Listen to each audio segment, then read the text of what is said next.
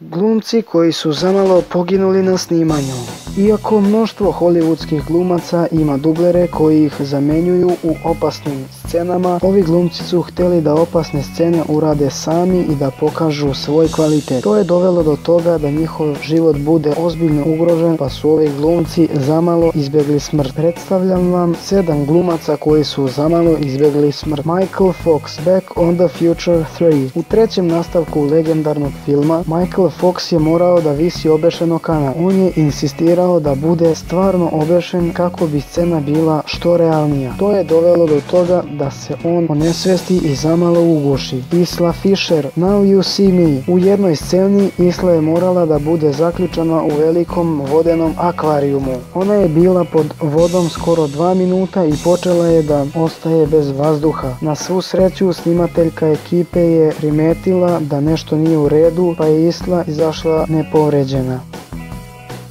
Sylvester Stallone. Rocky 4. U epskoj bici između Rokija i Ivana Draga razmijenjeno je mnoštvo strahovitih udaraca. Ono što mali broj ljudi zna je da su ti udarci bili pravi i da su zamalo ubili Stallonea. On je tražio od Dolph Lundgrena da ga udara iz sve snage kako bi borba izgledala što realnije. To je dovelo do toga da Sylvester završi bolnici zbog ozbiljnih povreda glave i otečenog srca. Jennifer Lawrence The Hunger Games. Tokom snimanja Jennifer Lawrence je bila izložena velikim količinama dima, koji je prouzrokovao gušenje i mučninu. Zbog brzog reagovanja filmske ekipe, Lawrence je uspela da sačuva glavu. Charlize Theron Aeon Flux. Verovali ili ne, tokom jedne od svojih akcijnih scena prelepa glumica je slomila vrat tako što je pokušavala da uradi salto. Na svu sreću povreda je bila blaža i ona se vratila na snimanje za samo pet nedelja.